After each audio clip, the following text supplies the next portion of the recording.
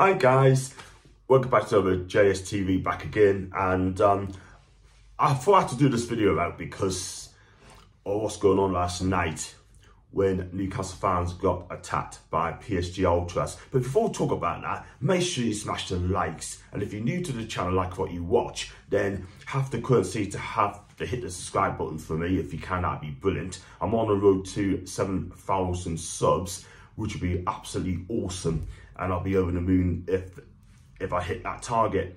And yeah, I just want to talk about last night really. I mean, yesterday, I went to the pub yesterday. I'm not going to mention which one it is, but most people know which one I've been new to.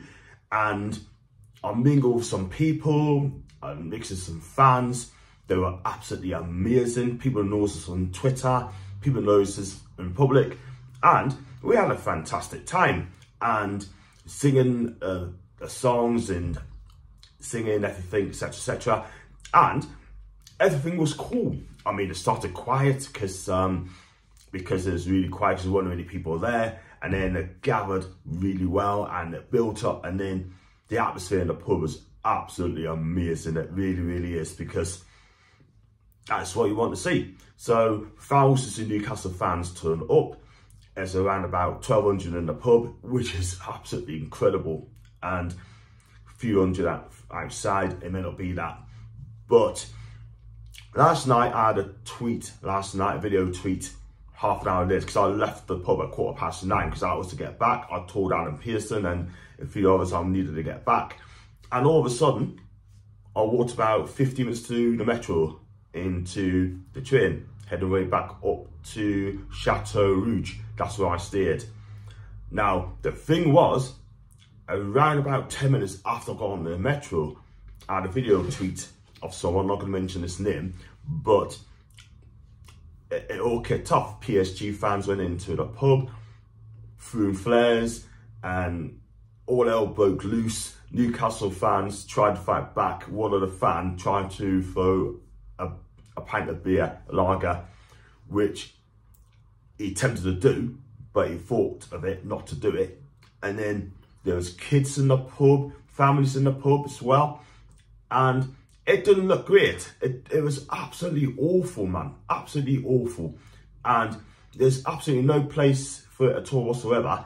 And I'm not going to lie, right? When you've got families in there in the pub, no matter where you're at, and you're going to look for trouble, throwing tables and chairs and flares, whatever, then it's not a good look. Not a good look at all there's people who might have gone to Paris for the first time, like myself, you know. This is my first time in Paris, and I find that people quite arrogant, or most of them, by the way, yeah? They aren't friendly at all whatsoever. What new? What new? And then when I looked at the video, obviously our crew tweeted it, had over 100,000 views on it as well. Obviously the video got deleted. I didn't delete it by the way, but someone else might have done, I don't know. But the tweets I've seen today was absolutely disgusting.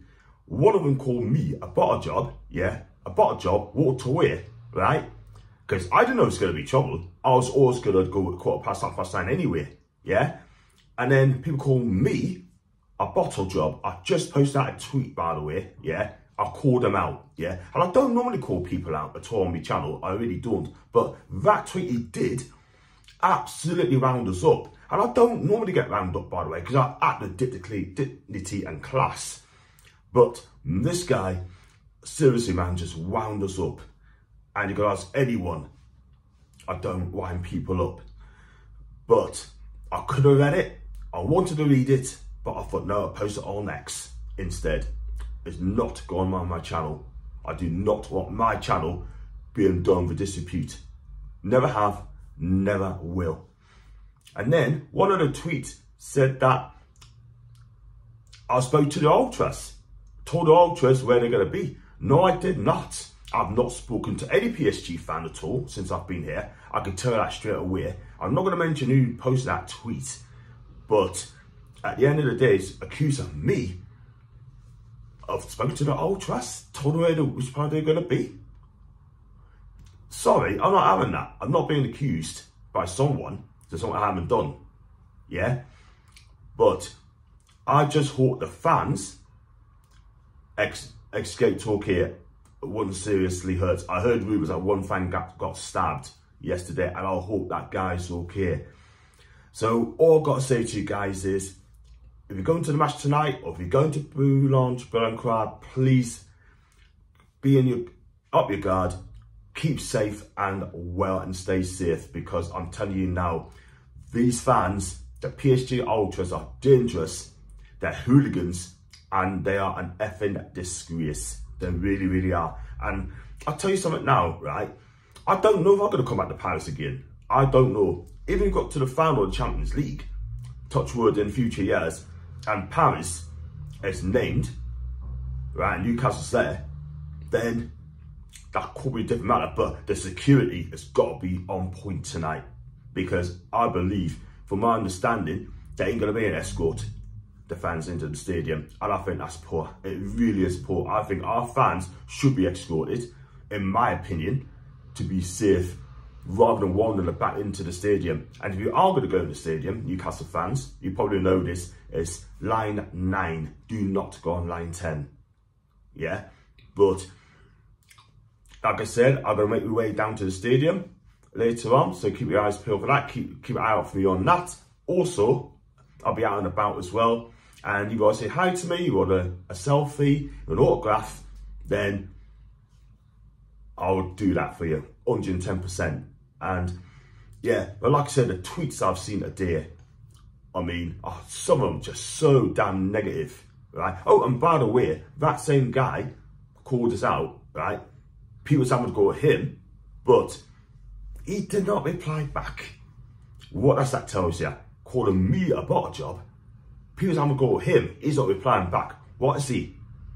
I bought a job. There you have it, people. There you have it.